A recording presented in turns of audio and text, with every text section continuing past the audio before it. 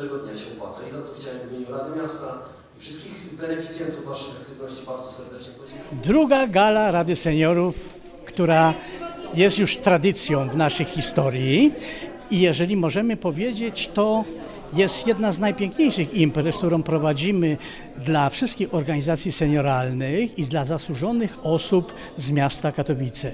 Raz w roku przyznajemy laury wyróżnienia, które zawsze obowiązują przez cały rok i następny rok a są jednocześnie podziękowaniem za wszystkie dokonania zrobione dla seniorów, dla środowiska senioralnego i oczywiście dla naszej Rady Seniorów. Jest to wspaniała nagroda e, dla, dla mojego zespołu, który, dla którego rzeczywiście ta grupa, grupa seniorów jest bardzo ważna i e, dla mnie osobiście jestem to już szósty rok, szósty sezon.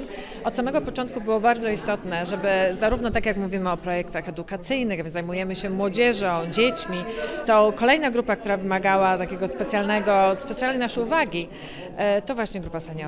Więc tym bardziej cieszę się, że, e, że te wysiłki nasze zostały zauważone. Przede wszystkim wzruszenie i zaszczyt, bo to faktycznie docenienie takiej trochę mrówczej pracy z tyłu, bo my jeszcze seniorami nie jesteśmy. Naszej świętej pamięci prezes Anna Szelest była i zaraziła nas tym, żeby na rzecz seniorów działać, bo to faktycznie jest ich coraz więcej i ich potrzeby są coraz bardziej znaczące dla samorządu.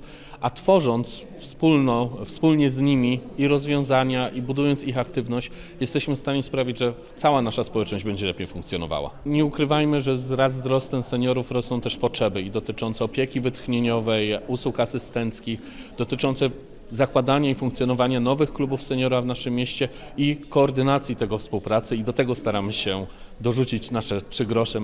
Dzięki tej nagrodzie wiemy, że z sensem. Seniorzy mają coraz więcej do powiedzenia w mieście. To wynika z różnych elementów, przede wszystkim z kwestii takiej, że się starzejemy jako społeczeństwo i jest coraz więcej seniorów w naszym mieście. To jest pierwsza rzecz, ale druga, myślę, jeszcze ważniejsza, albo właściwie najważniejsza, dzisiaj starzejemy się zupełnie w inny sposób. To nie jest dokładnie to samo, jak starzeli się nasi dziadkowie czy pradziadkowie, prawda, więc jest zupełnie inaczej. I dzisiaj seniorzy mają znacznie więcej energii w sobie, e, chcą dalej funkcjonować e, czynnie w e, społeczeństwie i tak też się organizują i tak też działają. A więc my tylko stwarzamy warunki do tego, aby mogli się rozwijać, aby mogli swoje projekty realizować w przestrzeni społecznej, ale dając nam też fajną lekcję nauki tego, jak powinno życie wyglądać, nauki wynikającej z doświadczenia i przeżytych lat.